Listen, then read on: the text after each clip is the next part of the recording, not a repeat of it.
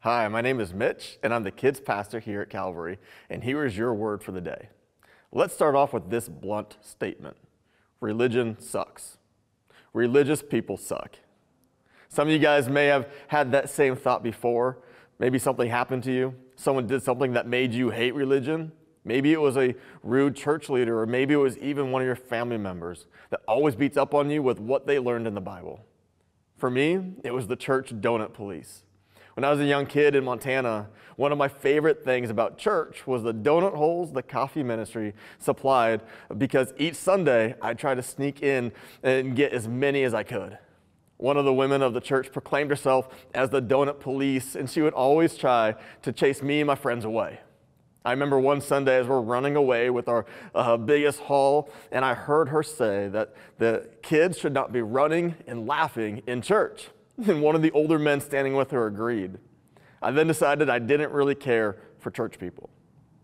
Then, about a year ago, we were landscaping in our yard, and an older gentleman saw my family working and came over to help. Uh, uh, he helped out simply because he knew that we needed it.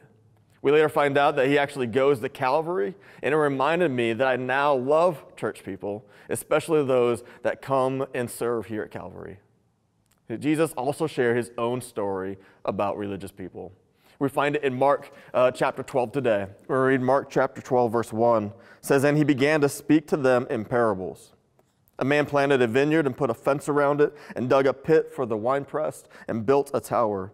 And he leased it to tenants and went into another country. When the season came, he sent a servant to the tenants to get from them some of the fruit of the vineyard. And they took him and they beat him and they sent him away empty handed. Again, he sent to them another servant, and they struck him on the head and treated him shamefully. And he sent another, and him they killed. And so with many others, some they beat and some they killed. He had still one other, a beloved son. Finally, he sent him to them, saying, They will respect my son. But those tenants said to one another, This is the heir. Come, let us kill him, and the inheritance will be ours.